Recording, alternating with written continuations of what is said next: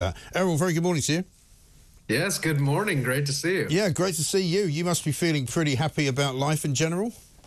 Oh, I am. And I don't know if you remember, man, but four years ago, I did this exact same time slot. Did you? We both, I went to bed with you declaring victory.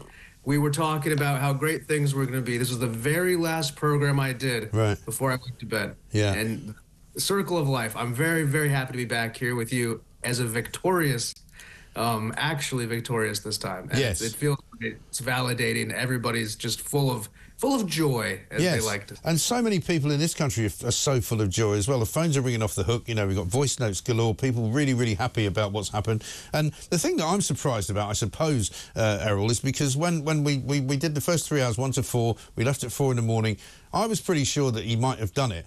But there was still some caveats. There was still some kind of, you know, Philadelphia could come in massively for Kamala. There could be these big, big moves in Georgia. Some of the biggest cities might have changed, and we might just not have counted the right votes yet. But it suddenly moved very quickly then over the next sort of two or three hours, and by suddenly 6:30, um, it was all over.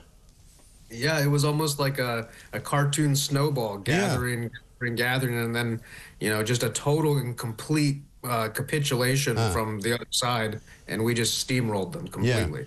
And what do you think Um, that's about? Do you think that's about Trump's um, campaign just being a lot more efficient this time around? That they didn't tell people to stay home and not vote until the day of the vote. They actually got the vote out. They actually got the postal vote out. They galvanised young men, you know, um, and, and Kamala Harris's campaign just wasn't up to it. Yeah, I mean, for I would like to take a lot of credit for for this, but I have to give a lot of credit, honestly, to the Democrat Party for sandbagging Scranton Joe and running Kamala Harris.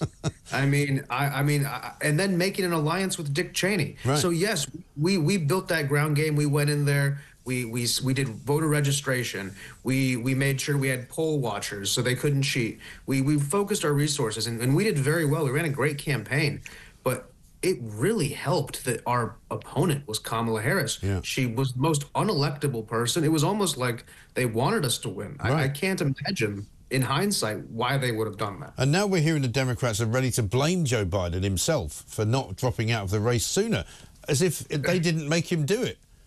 Yeah, this poor man, this poor man who won 14, 15 million votes, by the way. And uh, I mean, I don't think he would have been completely KO'd like Kamala was. Right. And now I guess they're going to go after his legacy. And they, I'm sure they made a deal with him, promised him a library and all this.